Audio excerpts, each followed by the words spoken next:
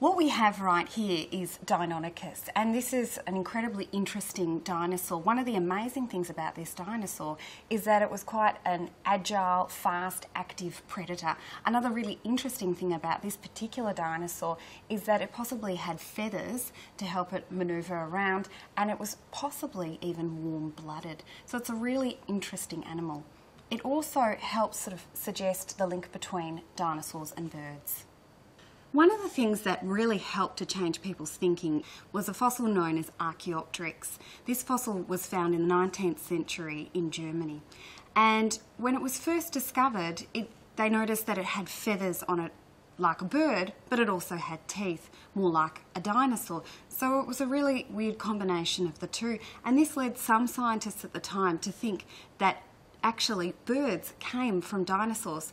However, at this time, the idea of evolution by natural selection had only just arisen in the scientific community and wasn't very well accepted. So this idea of birds evolving from dinosaurs was not well accepted at all. Deinonychus was studied by a scientist in the 1960s known as Ostrom, and he found that there was clear evidence that this animal had many features somewhat like a bird, yet it was still a dinosaur.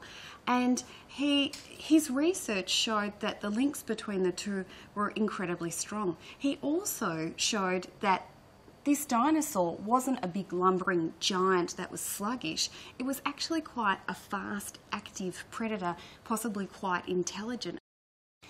Some of uh, the recent discoveries of dinosaurs and fossil birds that have been incredibly important in the way that we understand the evolution of birds and understand dinosaurs have been some fossils that have come out of a province in China called Liaoning.